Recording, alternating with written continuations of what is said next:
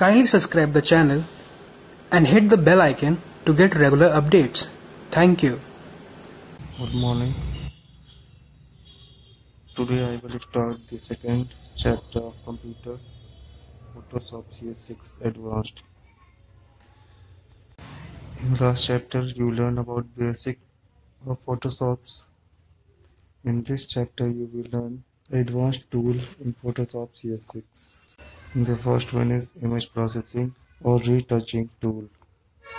Many times photographs and image need correction to look good or enhancing or manipulating original image is called retouching. Now see the first activity and first tool also healing an image. Here we use healing brush tool. You have to follow certain steps first. In toolbox select healing tool brush.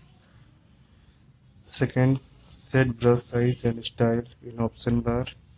Select mode as replace. Third alt plus click in a good region of image which you want to apply to heal. Click and apply healing on a region of image that you need healing. Now in image you can see how healing tool effect. It clears the image as a previous or original one. Next second activity for patching region of the image tool you have to use patch tool.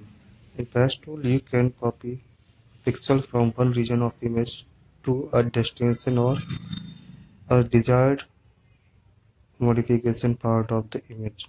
Now see the steps. Open image and select the patch tool from the toolbox. Second, select source in option bar.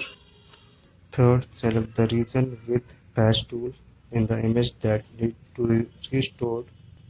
And now drag the selected area to the part where you want to patch it and press Ctrl plus D to remove the selection. Now see the third activity copying and stamping one region of image to another by using clone stamp tool. As the name suggests, stamp the stamp used for copying the same image on a new region or image part. Here you can take a sample from a part of image and you can stamp it to the same image or another image. Now see the steps. First you have to select clone stamp tool from toolbox. Next take a brush size and hardness and now you have to hold down which area you have to copy. Now drag and draw the left button on the area where you need to apply the clone. Thank you.